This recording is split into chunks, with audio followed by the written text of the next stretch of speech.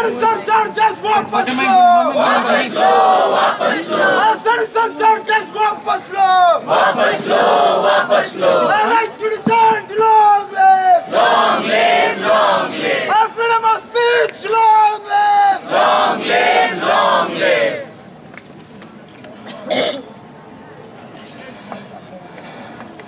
Well, friends, and of course, all my dear students and former students, um, I would like to begin by saying that, uh, as all of you know, this is one of the toughest times that JNU and perhaps the country is also going through.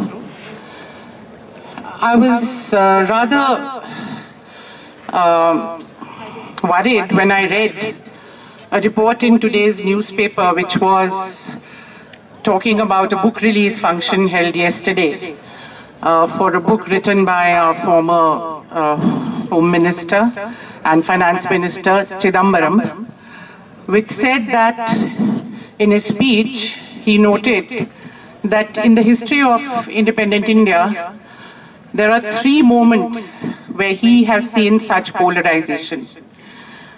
And he said the partition, the Babri Masjid demolition and what happened around it. And he said now. I'm beginning with this to try and bring to you the significance of what is happening today. What is happening is not just about JNU, as I'm sure all of you are by now aware. It is about JNU, it is about Kanhaiya, it is about all our other students. It's about Anirban, it's about Omar, and yet it's much, much bigger than that. And I think increasingly we all have to get a sense of what we are fighting for. What is it that we are standing up for and how important it is that we stand up and continue to stand for it. Because I think JNU has been chosen for this attack because precisely of its significance and the symbolism that JNU embodies. And I think the powers that be feel that if they can cow us down, if they can make us shut up, if they can scare the JNU students, then they won the battle. They don't have to go to every university and every town in the country to tell them, don't speak against us and our ideology. Don't speak against their idea of India. The message will go loud and clear. People will say, if JNU couldn't stand up to it, if JNU with its renowned faculty couldn't stand up to it, if JNU with its wonderful students couldn't stand up to it, with all the support that it can get internationally and nationally from the media, from every sector that we are getting, from parliament, if we can't stand up to it, then the battle is really won. So I think the significance of this battle for all of us, we are fighting for the nation. And we are lucky in a way that we are the ones who've been chosen for this. Because we do have the capacity to fight.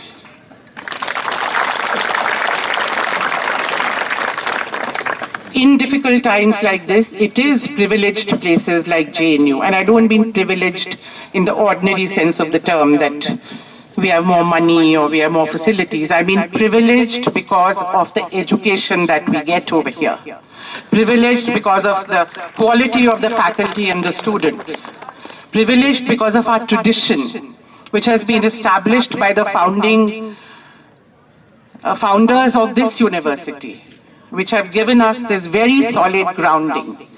So I think it's, it is very important that we, each one of us understand the significance and therefore bring to our struggle that seriousness and uh, gravitas, sobriety, and sense of purpose. I also want to use this opportunity to say that the slogans which we are putting out and the principles which we are talking about that we embody, debate, discussion, difference, we are telling the world every day We are not anti-national. In fact, we are nation builders. We are telling the world every day that we believe in debate and in respecting difference. We believe in discussion. We believe in actually sorting out all our problems through our own institutional mechanisms. We are fighting for our autonomy. We are criticizing those in our administration who've been compromising our autonomy. But that puts a very great responsibility on us, that we do actually live these principles. We also need to look inwards. Where we have been intolerant, we need to ask ourselves, do we need to change? Do we need to become also more accommodative of difference? Do we need to engage in more debate and discussion and dialogue rather than just tolerate difference? These are some of the things I'd like to talk to you about today, linking it with the tradition of the Indian national movement. As you know, I'm not, I'm not a theoretician, I'm not an ideologue, I am an ordinary historian and our craft is a very mundane craft. We wade through very boring archives and we try to make sense of that and we try and bring you some of the excitement of that past. So what I'm going to do really is tell you some stories, uh, especially about those parts of our past and of the past of our long battle for freedom, which are not so well known. So I will, there may be, may be times where you feel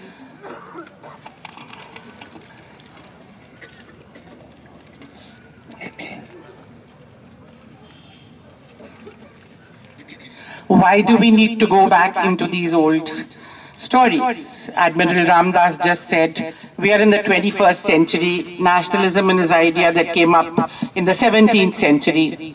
Forget it. It's a very nice, uh, you know, uh, it's, it's, it's, it's a nice talking point, but it, it is actually too serious. Uh, nationalism and its power.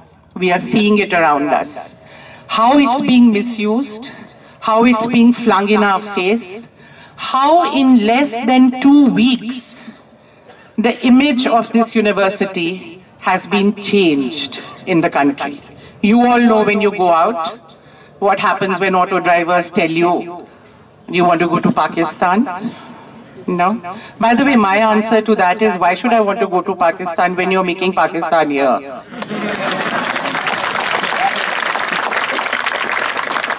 I need not go across the border very soon.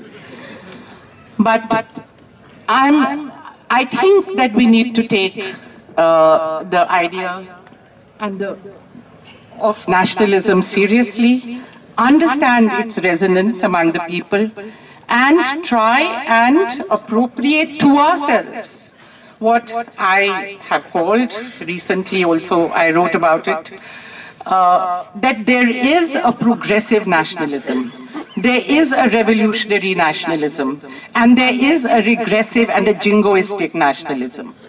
It's the jingoistic, aggressive nationalism which is calling us anti-nationalists. And we are going to return that.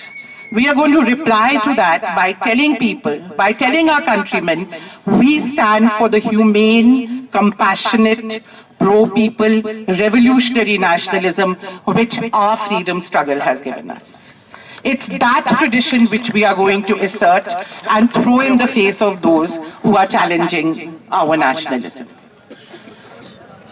I'll begin, begin by just a few general observations about the legacy of the freedom struggle. But for my talk today, I have chose to concentrate on the issue of civil liberties. Because I think the heart of the debate, or rather the attack on us today, and especially on our students, is the issue of civil liberties. How every channel, every discussion, everywhere you go, they say, but aren't there limits that have to be placed on civil liberties? Is there no restriction on freedom of speech? What are those limits? What are those restrictions? These are not absolutes. These are not things which you can answer with a yes or a no. And I think we need to look back at our own tradition and see how the struggle that brought this country into being, how did they address these issues? What was the, what was the nation they envisioned? And how did they see to it through their own practice and their own struggle that these ideas were embodied and went deep into Indian society?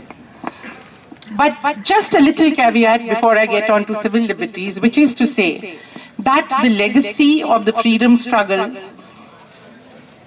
in my opinion, is manifold, but the crucial elements in that are a commitment to secularism, a commitment to democracy and civil liberties. Civil liberties are part of, you cannot have one without the other. But I'm not going to be talking about democracy today. I'll focus on civil liberties. There is the tradition of an egalitarian social and economic order or a pro-poor orientation. And there is the tradition or the legacy of sovereignty and independence. These are some of the crucial legacies that we have from our freedom struggle, which are embodied in our constitution. This constitution was not a gift of the British. Democracy was not a gift of the British. We fought for it every inch of the way. As early as 1895, Lokmanya Tilak had published a Constitution of India bill in which he had asked for universal adult suffrage, both men and women, no property qualification, no educational qualification, as early as 1895. In Britain, women got the vote after the First World War. In India, of course, as we know, we got it in the Constitution. Right from 1895, I mean, I gave you the example of 1895, but from much before that, the struggle for what finally went into the Constitution of India had been going on. So the Constitution also was not a one-shot affair. In fact, much of what the Constitution actually was finally had been worked out through the early, at least 50, in the previous 50 years before that, through the, again through debate, discussion, struggle, and long uh, deliberations between different streams of the Indian national movement. Coming to civil liberties, I'd like to begin by saying, and this, this should strengthen all of us, that this tradition actually goes back at least to Ram Mohan Roy. And I'm talking about 192 years ago. So when you're fighting this battle for civil liberties, don't feel weak. It's, you have that whole tradition and that whole legacy uh, behind you. I'll, I don't know what's going to happen to the light, but to the extent I can, I do want to share some very interesting uh, quotes with you. This is in the year 1824. Raja Ram Mohan Roy protested against a regulation restricting freedom of the press. The regulation did not come before that because there was no press. So as soon as the press, modern press started to emerge, the regulation started to emerge. He wrote in a memorandum to the Supreme Court Every good ruler will be anxious to afford every individual the readiest means of bringing to his notice whatever may require his interference. To achieve this important object, the unrestricted liberty of publication, please note the words, the unrestricted liberty of publication is the only effectual means that can be employed. So this goes back to the early 19th century. Even before the establishment of the Indian National Congress in 1885, which we usually take as the beginning of the modern uh, national movement, right from the 1860s, 1870s, 1880s, the demand for civil liberties and particularly freedom of the press was an invariant part of the demands of the early nationalists. In fact, I would say that Indian nationalism actually began in the Indian language press. The earliest manifestations of Indian nationalism and the earliest manifestation of identifying with the peasant which becomes a very interesting and important feature of Indian nationalism, begins in the 1860s. It is Deen Bandhu, Deen Bandhu Mitra who writes Neel Darpan in the early 1860s. It's a, it's a play about the Indigo Revolt. That is as early as the 1860s, just a few years after the revolt of 1857. And beginning with that, this, begin, this goes on strengthening to the point that in 1878, the British had to pass the Vernacular Press Act.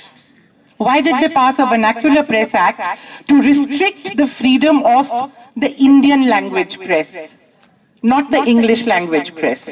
Because the Indian language press was far more radical and revolutionary than the English language press. So they brought in a bill, they passed the act which severely restricted the liberty of the Indian language press. And I'll come back in a, uh, you know, uh, and there was a huge agitation by nationalists uh, and the nationalist press against this act. I'll come back to this story a little later.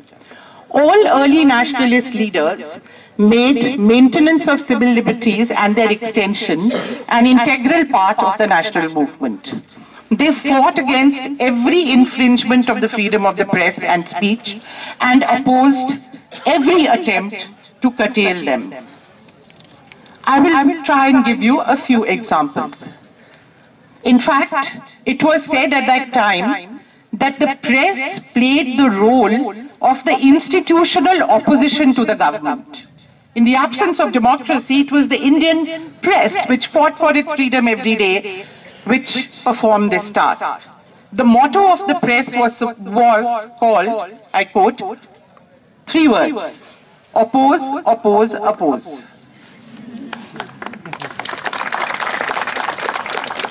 And please remember, I'm talking before even the establishment of the Indian National Congress. Every act of the government was subjected to sharp criticism. Lord Dufferin, who was the viceroy, in March 1886, barely three months after the formation of the Indian National Congress said, and I quote, day after day, hundreds of sharp-witted babus pour forth their indignation against their English oppressors in very pungent and effective diatribe. Will anybody say that of our press today? He continued two months later, I quote again, in this way there can be no doubt that there is generated in the minds of those who read these papers a sincere conviction that we are all of us the enemies of mankind in general and of India in particular. That was the tone of the press even before officially the organization that led the Indian national movement was founded. However, as we all know now, very uh, shows you the long path the national movement had crossed in this period. and how Gandhian politics brought a completely new uh, idiom, not just idiom, it brought a completely new framework into Indian nationalism. Even the great Tilak, courageous, brave, not afraid of the British, willing to go to jail, defended himself against the charge of sedition. Gandhiji said, I plead guilty to the charge of sedition. This was the territory that the movement had crossed till then because Gandhiji said, yes, indeed, this is a satanic government and I'm proud to oppose it. So they did not resist. These became acts of civil disobedience, where you proudly and openly defied laws that you thought were unjust and took the punishment for them.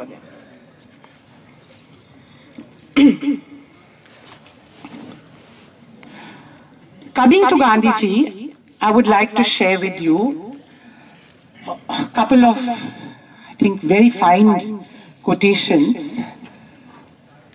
As we all know that in his work and in his uh, actual practice in the freedom struggle, Gandhiji showed a tremendous commitment to the values of democracy, civil liberties, dialogue, including dialogue with his opponents.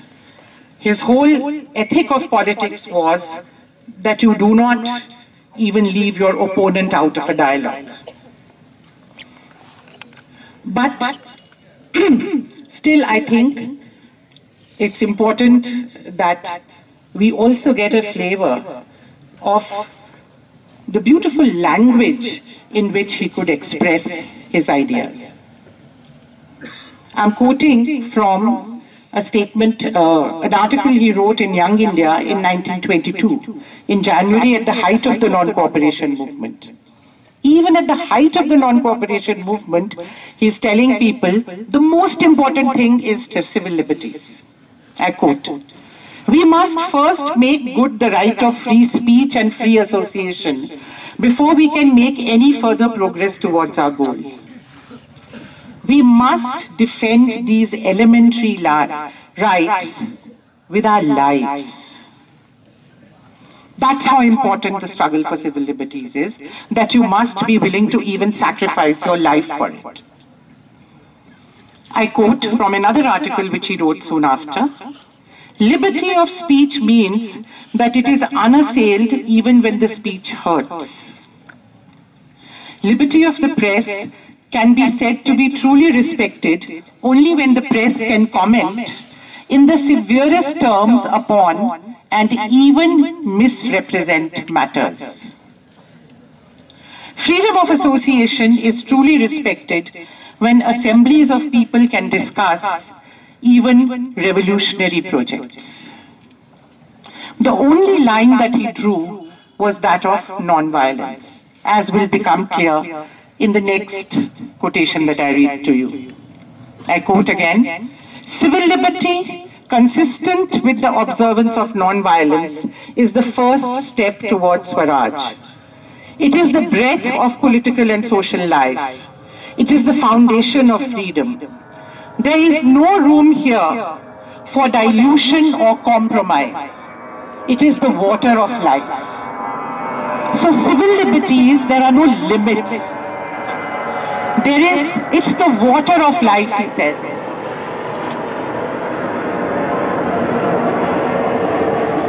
The, Im the imagery of water, I think, is very significant water of life, that is, there is no life without water, and civil liberty is like water, but it also can't be diluted.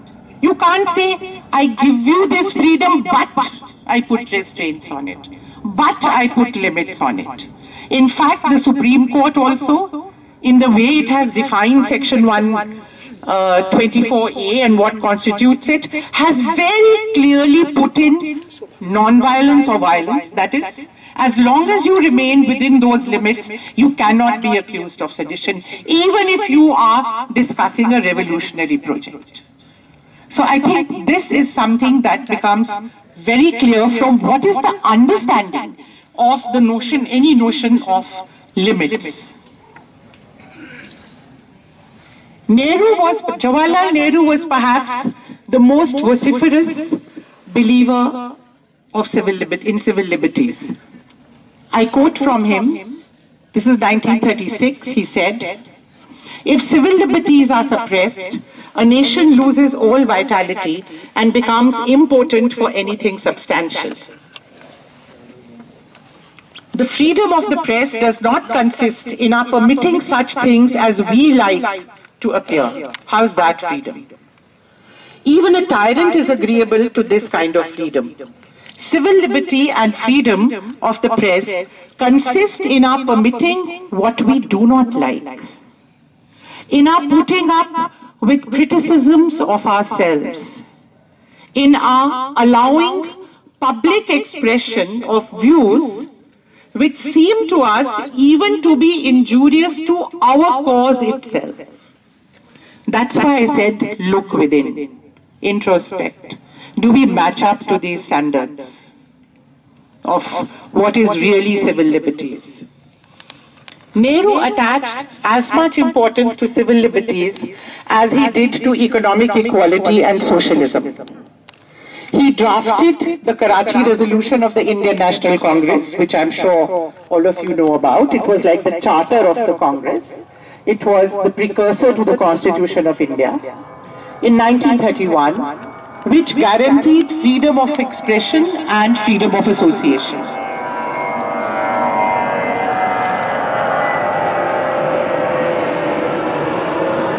And the enemy attack the system. We are fighting not against the British people, not even against the British officials. We are fighting against British imperialism. At the height of the Quit India movement 1942, and I'm telling you this from personal example, we interviewed a lady who was then a young woman who later spent her whole life as a Gandhian. She was there in Bombay where there was frenzy. There was a procession being taken out and a British soldier was hurt because somebody threw something at this British soldier. The processionists stopped their procession, took the soldier to their home, treated him, gave him a glass of water, and he was astounded and said, What is this? They said, No, this is our nationalism.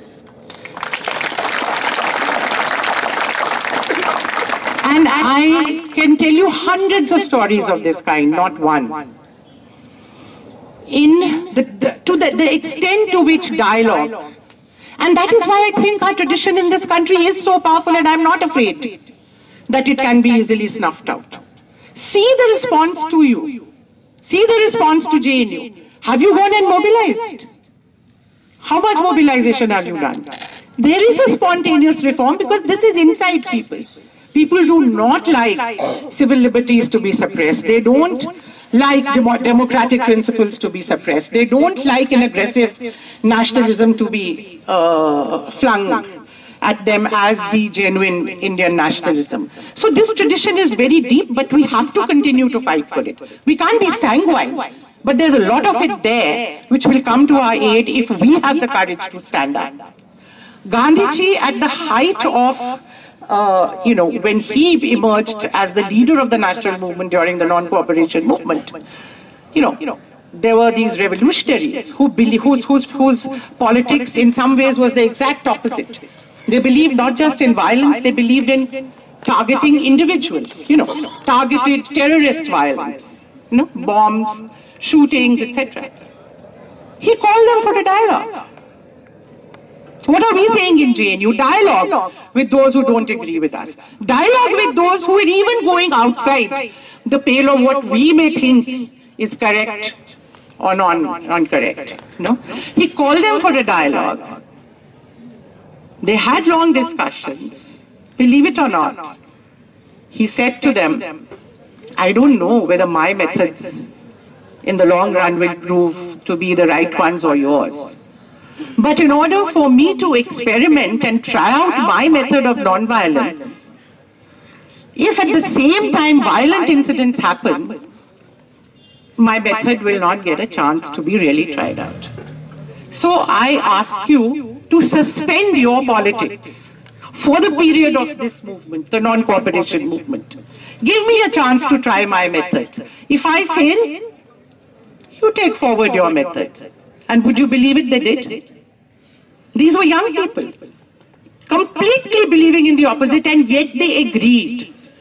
So this was the level of dialogue that existed between opposing political strands within our freedom struggle, which is why we won the battle for freedom. Because people differed but worked together. Communists went in and out of the Indian national movement. Sometimes they had one theory, sometimes they had another. But they worked. They were in the peasant movements, they were in the workers' movement, they were in the women's movement, they were in the civil disobedience uh, uh, movements, the satyagraha movements. And the politics which they uh, evolved was a politics in which their aim also was to bring the masses, the peasants and the workers into the freedom struggle. Of course, there were lots of differences. Nobody had perhaps greater differences than Nehru and Gandhi amongst themselves. Do please read Nehru's autobiography. Autobiography. Half the book is a criticism of Gandhiji. Gandhiji's reaction was, the more you criticize me, my love for you grows. What was poor Nehru to do with an opponent like that, who could disarm him always, who refused to get, you know, uh, annoyed or disturbed by anything he said and tried in fact to absorb and learn and continued to change. Tanika Sarkar the other day had talked here about Gandhiji. Perhaps my interpretation would be a little different, but I think the crucial point is that he was constantly evolving and changing in a radical direction, absorbing from other strands, even at that late age. I'll end by saying, how many people could have the courage that Mahatma Gandhi showed? What was exemplified in the last year before his assassination. He went to Noakhali on the 4th of November, 1946, when he heard that there was communal violence that had erupted over there. This was an area where there was a Muslim majority, a Hindu minority. The government in power was a hostile government. It was uh, a Muslim League uh, government. So he had the people were not sympathetic, they were not uh, for him, the government was not for him.